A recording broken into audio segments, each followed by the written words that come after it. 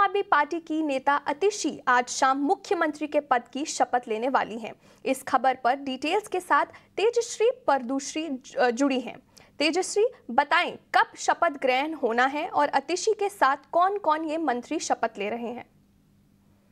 अतिशी बतौर मुख्यमंत्री आज शाम साढ़े चार बजे एलजी सेक्रेटेरिएट पर शपथ लेने वाली हैं। उनके साथ साथ पूरा कैबिनेट भी शपथ लेगा, जिसमें कैलाश गहलोत, गोपाल राय, सौरभ भारद्वाज, इमरान हुसैन और मुकेश कुमार अहलावत, जो पहली बार कैबिनेट में मंत्री के तौर पर शामिल होंगे। ये सभी लोग आज शपथ लेने वाले हैं। आपको बता दें कि अहलावत जो है, वो दलित समुदाय से आते हैं।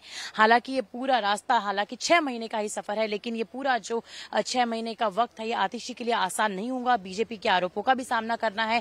एलजी के साथ हमने देखा कि पूर्व मुख्यमंत्री अरविंद केजरीवाल के किस तरह के संबंध रहे हैं, उसे भी देखना होगा। और साथ ही साथ दिल्ली की जनता के साथ वो किस तरह से कनेक्ट बना पाती है, संबंध बना पाती है, वो भी देखना होगा। तो एक तरफ़ जहाँ आतिशी शपथ लेने वाली है, आज तो वहीं दूसरी और अरविंद केजरीवाल ग्राउंड पर जाकर लोगों से मिलने वाले हैं। सौ दिन का उनका प्लान तैयार है कि किस तरह से वो जनता की अदालत में खुद को सरेंडर करने वाले हैं। साथ ही साथ उनके साथ मनीष सिसोदिया भी रहेंगे और जनता से सवाल पूछेंगे और अपनी ईमानदारी का सर्टिफिकेट अब वो जनता से ही लेने वाले हैं। यानी कि कुल मिलाकर आने वाले छह महीनों में दिल्ली की राजनीति में कई सारे ऐसे पड़ाव देखने को मिलेंगे जो शायद पहले कभी देखे ना हो। आरोप प्रत्यारोपों का दौर जारी रहेगा, लेकिन अभी फ़िलहाल इस वक्त सभी की निगाहें साढ़े चार बजे की ओर टिकी हुई हैं कि कब दिल्ली को अपनी तीसरी महिला मुख्यमंत्री के तौर पर आतिशी मिलती हैं।